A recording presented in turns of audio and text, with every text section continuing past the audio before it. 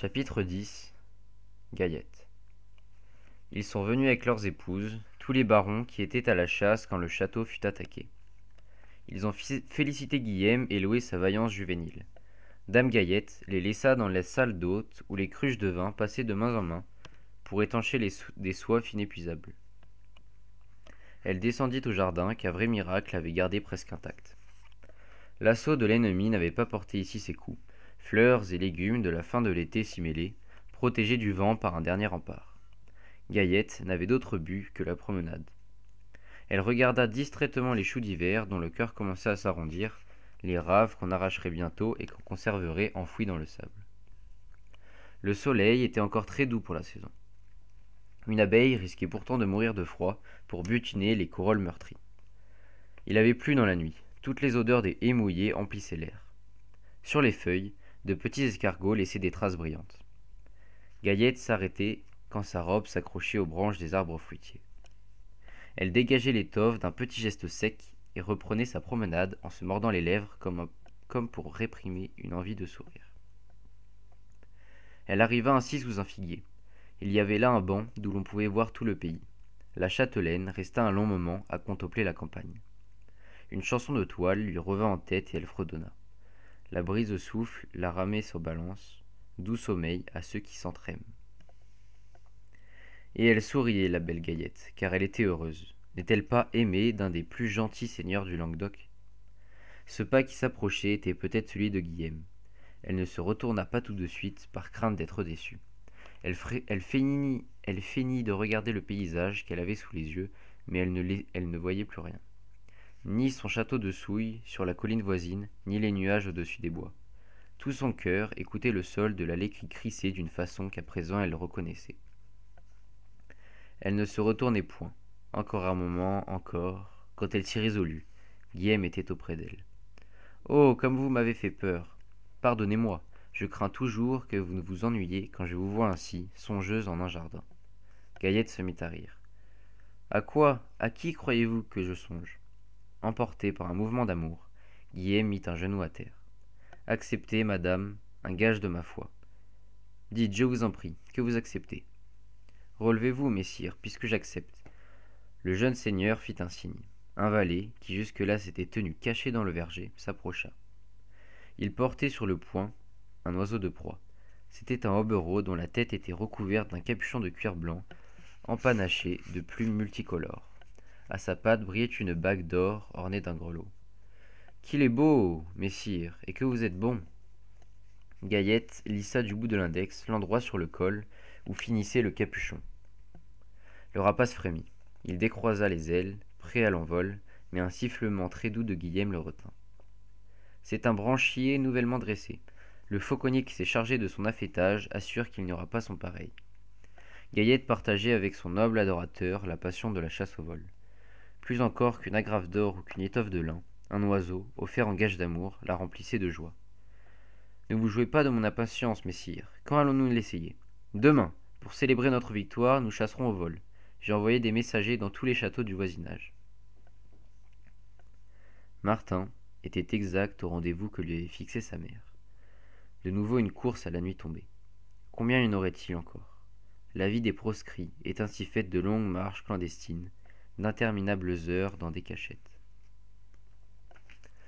L'enfant attendait au creux du lilas que sa mère jugea l'obscurité assez épaisse pour le rejoindre. Les voisins sont dans leur clos, elle ne viendra pas tant qu'ils ne seront pas rentrés. Je la connais, elle a toujours peur, elle se méfie de tout. D'abord, il n'y eut qu'un bêlement d'agneau, et celui, plus grave, de la brebis, qui rappelait son petit. Puis une dispute de poules ensommeillées pour une place sur un perchoir. Martin retrouvait tous les bruits de ses soirs de liberté. Puis et là, il prêta l'oreille. Quelques bribes d'une conversation entre voisins. Demain, avec les oiseaux? Bien sûr, puisque les dames y seront. Ce serait une grande chasse. Martin apprit la nouvelle le cœur battant. Son faucon ferait sûrement partie de cette chasse. Le fauconnier devait être si impatient de montrer son savoir-faire. Demain, toute la compagnie s'arrêtera à la fondelle planée, continue d'expliquer l'homme de l'autre côté de l'allée. Le reste de la conversation fut perdu pour Martin. Le couple était rentré chez lui. La mère, qui guettait ce moment, apparut. Elle serra très fort son enfant dans ses bras, et tout de suite, parce que le temps était précieux, elle dit des larmes plein la voix. Je n'ai pas pu parler au Seigneur, mon pauvre Pichou. On ne m'a pas laissé passer le pont. On m'a dit de revenir, qu'il n'était pas là, et la dame non plus. Oh, je reviendrai, je leur ai dit. Je reviendrai jusqu'à ce que je le voie. Les gardes ont ri. Mais bon, sois patient, ne t'inquiète pas. Le Seigneur est bon. S'il m'avait vu à ce moment-là, il m'aurait écouté. J'en suis sûr. J'y retournerai. Je crierai et j'appellerai. Tu verras, je réussirai. Un jour prochain, peut-être. Oui, oui, un jour prochain. Ce n'était plus à sa grâce que Martin pensait. Il n'écoutait plus ce qu'elle disait. Il répondait par des hochements de tête, des oui-oui distraits. Il aurait voulu que ce fût déjà le lendemain. Il écourta l'entrevue. La mère le laissa partir, soulagée au fond d'elle-même qu'il ne lui eût pas posé de questions au sujet de la chasse. Sans doute n'en savait-il rien, tant mieux. Quelle chance qu'il soit au monastère. Là-bas, il n'en entendrait pas parler. Martin se retournait auprès des frères Vincent. La nuit était noire. Le vent, qui avait soufflé toute la journée, avec le soir s'était calmé. Il accordait un peu de répit aux branches et aux chaumes des toits. Demain, il recommencerait. Demain, Martin, tout en marchant, ne pensait qu'à cela. Demain, le Seigneur chasserait au vol avec ses invités. La compagnie s'arrêta pour boire, s'arrêtera pour boire et manger dans le pré de la fondelle planée, avait dit le voisin à la voisine. Ce sera commode pour les dames au bord du chemin. La fondelle planée, c'était cette fontaine que le vieux seigneur, père du seigneur actuel, avait fait construire au pied du village pour que les pèlerins puissent s'y désaltérer. Martin la connaissait bien. Souvent, il puisait l'eau dans le cuveau de bois. Il posait ensuite celui-ci au milieu du pré. Les oies s'accroupissaient autour, broutant un brin d'herbe, buvant une gorgée d'eau, et comme cela pendant des heures. Il en profitait pour courir les champs. C'était là que, le lendemain, ce faucon, présenté sur un gant de cuir, serait admiré de toute la compagnie, après avoir montré ses qualités de rapace. Il contourna le coteau qui portait le village et arriva au lieu qu'il voulait revoir. La fontaine était un puits recouvert d'un toit arrondi, adossé à un tertre. Deux grands peupliers la surmontaient. En été, un parterre d'orties faisait mériter l'eau aux voyageurs, aux voyageurs assoiffés. Que de brûlures il fallait endurer avant de pouvoir se désaltérer. Martin s'assit sur le rebord de pierre. Dans ce pré où rien ne bougeait que les souffles habituels de la nuit, il imagina l'animation du lendemain. Il vit les grandes nappes de toile blanche étalées sous les arbres pour permettre l'amoncellement des viandes, des coupes de fruits, des gobelets et des aiguières. Il recréa les pages, allant d'un invité à l'autre et offrant des mets auxquels lui, Martin, n'avait jamais goûté. Les belles dames riraient en s'asseyant dans l'herbe. Les seigneurs leur montreraient le gibier qu'on aurait tué dans la matinée et qu'on alignerait sur le chemin. Le fauconnier, s'il s'était rétabli, s'occuperait des oiseaux. Que ferait-on du Hobereau Tout le monde l'admirerait, bien sûr. Il était si beau.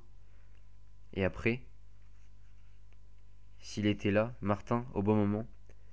S'il n'y avait plus de murailles à franchir, de portes à forcer, de pont-levis, de herses Rien que quelques valets fatigués par la chasse, quelques pages écervelés, un fauconnier mal guéri de sa blessure. Assis sur la margelle, il retenait son souffle. Les chiens On laisserait peut-être les chiens à ses trousses. Alors il serait perdu. Que ferait-il s'il échappait à tous ces dangers? Où irait-il L'œil jaune de l'oiseau, ses culottes rousses, son plumage si doux sur le col? Sa façon de planer au-dessus de lui, courant sur le sentier Est-ce que tout cela serait encore possible ailleurs? Le garçon se leva, brusquement, sans réfléchir davantage. Il n'avait pas besoin d'étudier le terrain, il le connaissait. Il savait que là où poussaient les orties, il y avait un creux, derrière la fontaine le toit qui lui donnait de l'ombre, l'eau tombait du cuveau à chaque puisage et entretenait une bonne fraîcheur. Quelquefois il y avait un serpent, mais seulement en été. De ce creux, entre les troncs des peupliers, on pouvait voir tout ce qui se passait dans le pré. Et du pré, on ne voyait pas le creux derrière la fontaine. Martin sauta le fossé. Tournant le dos au monastère, il prit la direction des bois.